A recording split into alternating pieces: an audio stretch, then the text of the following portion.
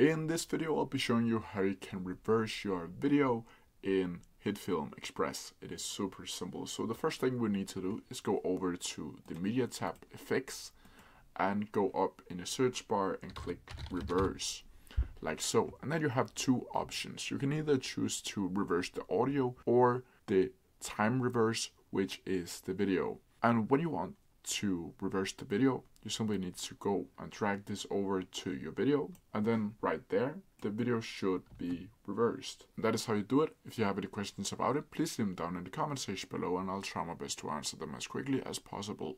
See ya!